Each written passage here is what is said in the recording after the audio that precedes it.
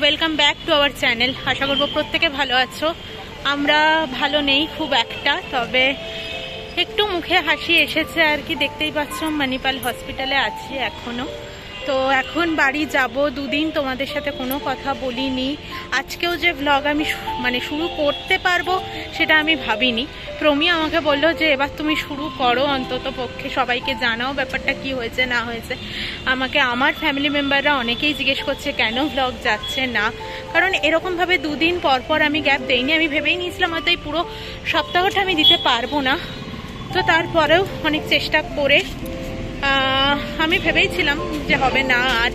তো যাই হোক, ডাক্তার কিছুটা আশ্বাস দিয়েছে, তাই আবারও আজকে থেকে ব্লগ শুরু করছি। আশা করি আবার রেগুলার যাবে তোমাদের কাছে ব্লগ। এখন বাজে পৌনে ছটা। তোমাদের কাছে কিছু লোকাতে চাইনি, শুধুমাত্র আমার ব্লগ দেখলে আমার ফ্যামিলি মেম্বাররা প্রত্যেকে জানতে পেরে যাবে। আর এই টাইমটাতে যে আমি ফোনে কারোর সাথে অনেকক্ষণ ধরে কথা বলব, সেটা আমার ইচ্ছে করছিল না একদমই। তো সবটা বলব, তোমাদেরকে একটু বাড়িতে যাব, তার আগে ক্যান্টিন যাব ক্যান্টিন থেকেও আর আমি কিছু খাব দেন বাড়ি যাব। আমরা সকালবেলা বেরিয়েছিলাম যখন, তখন অল্প ভাত খেয়েই বেরিয়েছিলাম, কিন্তু এখন পৌনে ছটা বাজে, আমাদের খিদে পেয়ে গেছে। তো একটু কিছু খেয়ে নিয়ে তারপর বাড়ি যাব। বাড়ি তো চলে এসেছি চোখ মুখ দেখে বুঝতেই পারছ প্রচণ্ড টায়ার্ড তিন দিন ধরে আজকে চলছে আবারও কালকে কালকে যেতে হবে? হ্যাঁ বাড়ি থেকে হয়তো বেরোতে হবে সেটা যদি কোনো ভালো কাজের জন্য হতো তাহলে অবশ্যই হয়তো ভীষণ ভালো এনার্জি নিয়ে থাকতাম বাট কোনো এনার্জি আর পাচ্ছি না। এক তো মনের দিক থেকে ভেঙে গেছিলাম, প্রচণ্ড টেনশন হচ্ছিল, আর দ্বিতীয়ত এত ছোটাছুটি, এত টায়ার্ড তারপরে বাড়িতে যে মানে এসে কারোর হাতের অন্তত সেদ্ধ ভাতটা খেতে পাবো, সেরকম লোকও নেই আমাদের এখন। আমাদের বলব না যে নেই, আছে, কিন্তু আমরা কাউকে ওভাবে ডিস্টার্ব করতে চাইছি না আর কি। কারণ সত্যি কথা, এখন মানুষের হেল্প আমরা কত টুকু করতে পারব লোকের জন্য। যে আমরা আশা করে বসে থাকব, সে আমার জন্য এতটা করবে, সে আমার জন্য অতটা করবে। তো যেটাই হোক না কেন, যে কথাগুলো বলছিলাম, দুদিন বাদে মানে আমার তরফ থেকে তোমাদের কাছে ব্লগ আছে মঙ্গলবার সকাল, যেটা আমি সোমবার রাতে শেষ করেছিলাম। আমি সোমবার রাতে তোমাদেরকে বলেইছিলাম কালকে ব্লগ যাবে কিনা, জানি না। তবে সেই দিনকে এটা জানতাম না যে আমি পরপর দুদিন দিতে পারব না। যদিও মঙ্গলবার তারপরে মানিপাল হসপিটালে গিয়ে আমি ভেবেই নিয়েছিলাম হয়তো এই সপ্তাহটা পুরোটা আমি ব্লগ দিতে পারব না। তা কি হয়েছে তোমাদেরকে ভেঙেই বলি এবার। সোমবার দিন রাত্রিবেলা ওর ইউএসজি রিপোর্ট হয় মানে বিকেলের দিকে, রাতে নয়। তো ইউএসজি রিপোর্টে গল ব্লাডারে ছোট ছোট তিনটে স্টোন মতো দেখা যায়। তো তারপর যাই হোক, সেটা তো গেল। তো সেটার জন্য আমরা পরের দিন এখান থেকে কোনো ক্লিনিকে দেখিয়েছিলাম, সামনে যে ক্লিনিকটা আছে। তো সেখানে দেখানোর পর উনি বলে, এরকম এরকম করতে হবে বা এরকম ডাক্তার দেখাতে হবে। ক্লিনিকের হাতে তো আর এসব থাকে না। ক্লিনিকের ডাক্তারের হাতে তো সার্জেন দেখাতে হবে। তো সেই কথা মতো আমরা সেন্ট জনসে আমরা যাই, আমি সেন্ট জনস নিয়ে ভিডিও বানিয়েছি, তোমরা তো বলতেই পারো দেবিনা সেন্ট জনস তখন এত ভালো, সেন্ট জনসে কেন যাওনি? আসলে ওর অফিসের সাথে মানিপালের টাই আপ রয়েছে টাই আপ আরও রয়েছে, অ্যাপেলো, নারায়ণা।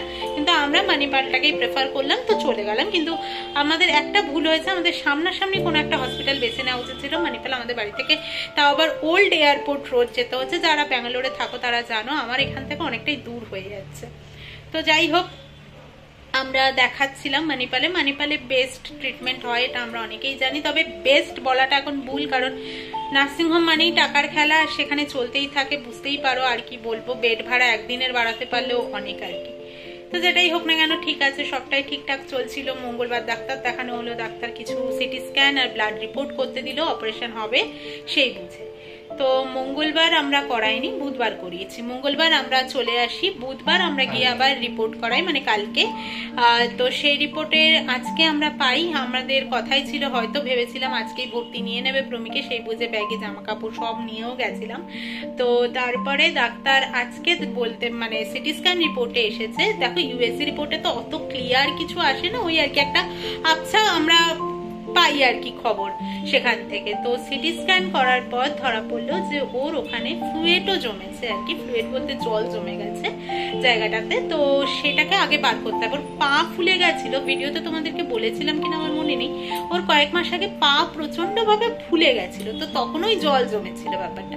কিন্তু তখন নিজে থেকেই মালিশ টালিশ করাতে তেল দিয়ে বেরিয়ে গেছে। আর পেটে যে জল জমতে পারে আর সেটা আমরাই বা কি করে জানব? তো যাই হোক না কেন, তারপরে যখন ওর ডাক্তারকে দেখানো হলো, বলল ড্রেন ড্রেন করে জলটাকে বার করতে হবে। বা ড্রেন বলতে হচ্ছে, তোমার ওই পেটের ওখানটাতে একটা হোল করবে দেন ওখান থেকে একটা টিউব ঢোকাবে বা ঢোকানোর পর সেটা এবার তোমার শরীরের উপর নির্ভর করছে যে কয়েক ঘন্টায় জলটা বেরিয়ে আসবে নাকি আস্তে আস্তে কিছু দিন ধরে বেরোবে।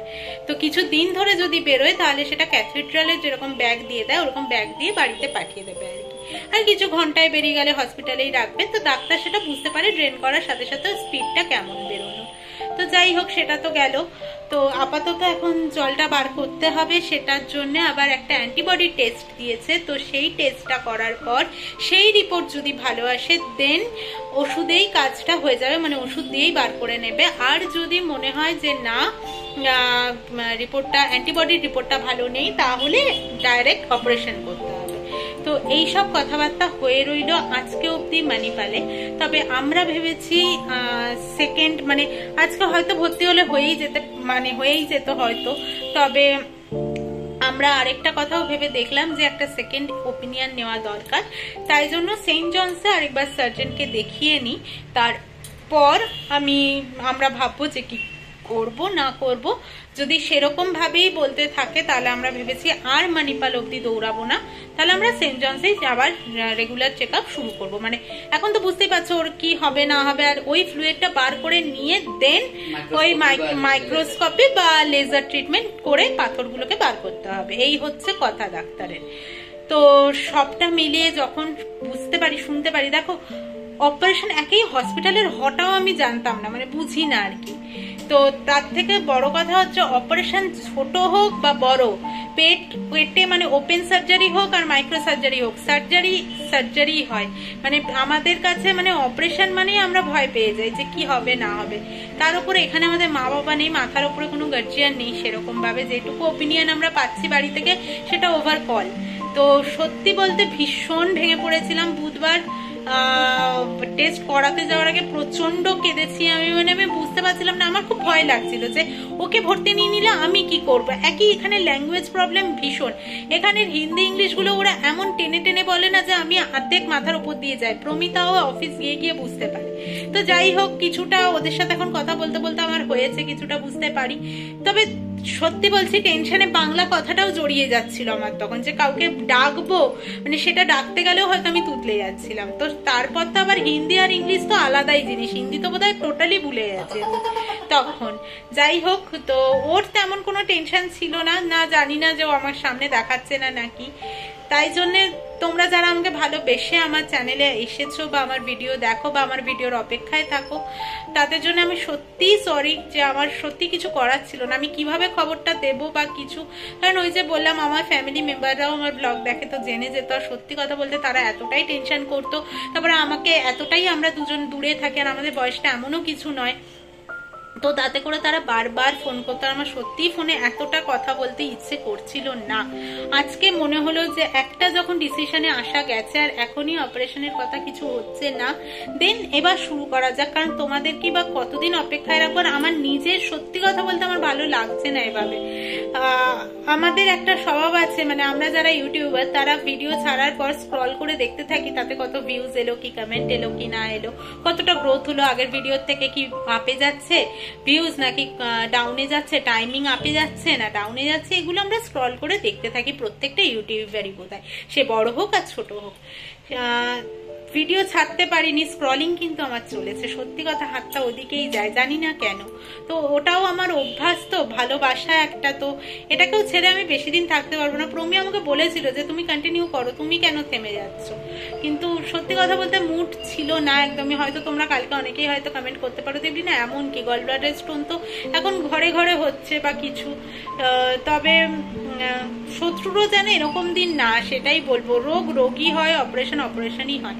কারোর যেন এরকম দিনগুলো না আসার তার থেকেও বড় কথা সবচেয়ে যে একা থাকাটা খুব চাপের। বিশ্বাস করো, কলকাতায় মা বাবারা আছে, তাও মা বাবাদের কিছু হলে আমরা ছুটি না পেলে, আমরা যেতে না পারলে ছুটিতে প্রমির বন্ধু বান্ধবদের ফোন করলে আমার মা বাবাকে, আমার মা বাবার কিছু হলে মামুনি পাপা আছে, মামুনি পাপার কিছু হলে আমার মা বাবা আছে।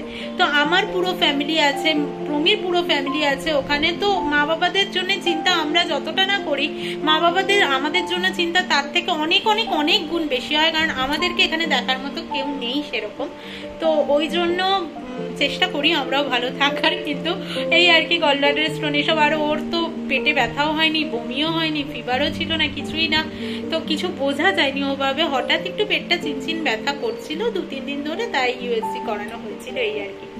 তো যাই হোক, এইটুকুই খবর দেওয়ার ছিল। আজকে এর থেকে বেশি আর কিছু তোমাদেরকে দেখাতে পারব বলে আমার মনে হয় না। তবে এখনও যে খুব একটা ভালো লাগছে এরকম নয়। তবে তোমাদের সাথে কথা বললে তোমাদের কমেন্ট পেলে আমি সত্যি একটু সাহস পাই। তো এই আর কি, তোমরা আমাকে ভুল বুঝো না, এইটুকু বলব। আর যারা আমার ভিডিওর অপেক্ষায় ছিল, তাদেরকে অনেক অনেক অনেক সরি কিন্তু তোমাদেরকে বলব, এভাবেই পাশে থেকো। জানি না, দুদিন ভিডিও দিতে পারিনি, আমার চ্যানেল বসে গেল ডাউন হয়ে গেল না কি হলো, যদিও ওই টাইমে আমি এই কথাগুলো ভাবছিলামই না যে আমার চ্যানেলের কি হলো, কারণ আমি আজকে যে জায়গায় এসেছি মানে সাতশো মতো সাবস্ক্রাইবার হয়েছে, এটাও অনেক অনেক অনেক কষ্টের ফল আমার। তো আমি চাই না কখনোই যে আমার জন্য জায়গাটা বসে যাক বা কিছু। যাই হোক, কিন্তু এই সিচুয়েশনে আমি ক্যামেরা ধরে কথা বলব, এই জায়গাটা আমার আসছিলই না। তো যাই হোক, আজকের মতো এখানেই শেষ করছি। কালকে থেকে আশা করি তোমাদের সাথে রেগুলার লাইফে আমি কি করছি না করছি আবারও শেয়ার করব। আর তোমরা প্লিজ একটু প্রে করো যাতে আপাতত অপারেশন টপারেশন করতে না হয়। ওষুধের ওপর দিয়ে যেন জিনিসটা কেটে যায় আর কি। তো চলো আজকের মতো টাটা গুড নাইট কালকে আবারও আসছি একটা নতুন ব্লগের সাথে। আসবই, আশা করছি আমি আসবই। তো তোমাদের জানি না এই ব্লগটাতে আমি কীরকম রেসপন্স পাবো বা কিছু। তো আশা করব ভালো। আর তোমাদেরকে বলব, তোমরা প্লিজ একটু পাশে থেকো। তো চলো, টাটা।